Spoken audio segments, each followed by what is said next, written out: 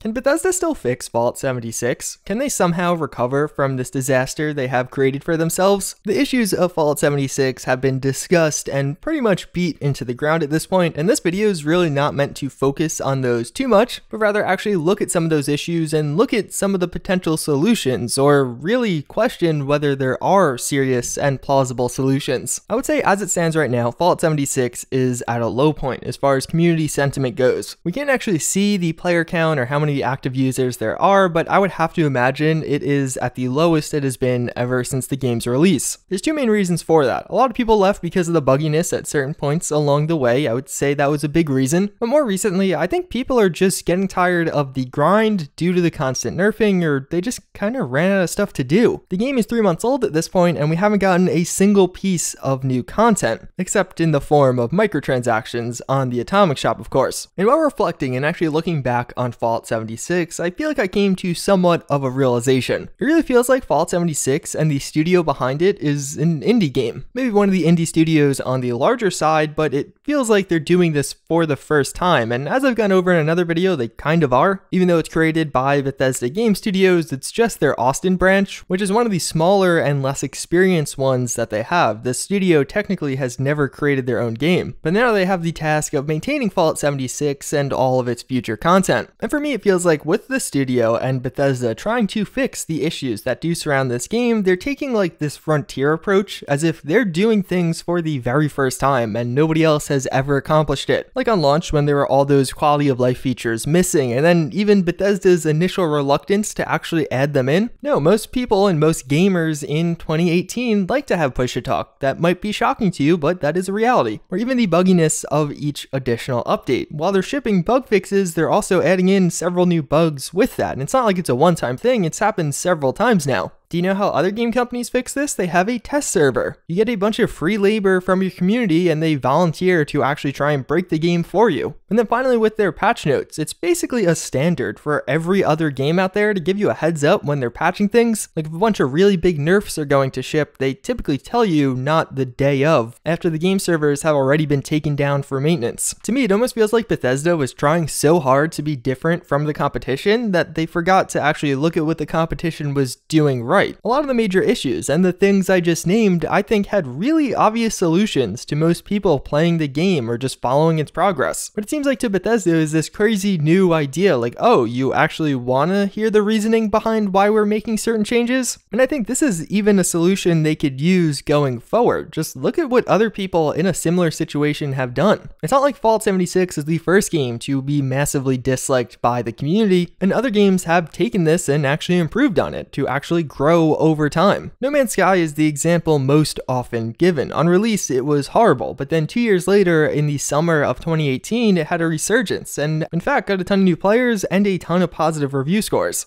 How'd they do it? Well, they fixed all the bugs, hunkered down, and added a ton of content. I personally think people at Bethesda could be and really should be looking at the No Man's Sky situation and what happened with that. No Man's Sky on release got a lot of negative press and a lot of backlash. Fallout 76 might have had a little bit more negative press because it just kind of continued and continued even after the first month, but they're both in similar situations and people have a short memory, so they're gonna probably forget half the stuff that went wrong with Fallout 76 anyway. But with No Man's Sky, even though it had so much negative backlash, people still eventually got over it. People went back to the game and hundreds of thousands of people played the game, many of them probably purchasing it for the first time. Ideally, Fall 76 would do this in a shorter period of time, not waiting two years, but the principle is still there. I don't think Fallout 76 has had bad press beyond the point of repair. Maybe for some individual users it has, but I think overall, if the community suddenly felt super positive towards the game and really loved the next DLC, they would play play it or even some people would buy it, just like they did with No Man's Sky. But even further, it should indicate to Bethesda that just hunkering down and actually fixing all the bugs, then adding in a ton of good content is probably one of the solutions. My big question though is whether or not Bethesda can actually do this. If you actually look at how much they've done over the three months of this game being out, it's not that much. And even more recently, if you look at their latest Inside the Vault article, they literally showed two balance changes. That's all they had to say after this massive week of backlash and controversy, you think they'd have some kind of big response to really show to people, no, you're going to be okay. We're going to add a lot to this game. They've been talking about a roadmap coming up for over two weeks at this point, which is a staple of every other game as a service. Apex Legends showed everyone on release what their plans were, and to be frank, I have no doubt that users will come back. It's just how long will they actually stay? While a lot of the past Fallouts had a ton of replayability through the main story, giving you hours upon hours of enjoyment, in Fallout 76 that simply doesn't exist. As it stands right now, most people have done everything in the game and they're now waiting for the DLC. When the DLC comes out, how long is it going to take for everyone to do all of it? The core gameplay of Fallout 76 really suffers from a lack of replayability. This is one of the standouts of this game versus some of the previous ones. While in this game, there might almost be the same amount of content, the amount of times you're actually going to want to play through it is severely limited when you take out things like dialogue choices or different branching story paths. If Bethesda simply releases a ton of DLC that's in a similar vein, I think the community at large will consume it very quickly and then be bored again and move on to another game. I think changing it up, actually adding in interesting things is going to be the key here. I would say the PvP servers are without a doubt a very good first step. That's something that I think I will get hours of enjoyment out of. The problem with that is that you don't have a PvP audience. Every single Fallout game in the past was single player. There just isn't a community of people around this game that want to be fighting other players on a consistent basis. They want to be fighting other creatures with their friends by their side, which inherently tends to be way less dynamic and thus has a lot less replayability. So Bethesda trying to unlock that, figure out what they could do right there, again, by looking at other games, I think is the key. Although to be frank, we have no idea what the frequency of DLC releases will be. But I think right now, the writing's on the wall that they're not going to be quick. I think there's going to be long waits and the content itself might not be massive. Even just the fact that it's taking them a month and a half from the announcement to actually get out these PvP servers or this new survival mode.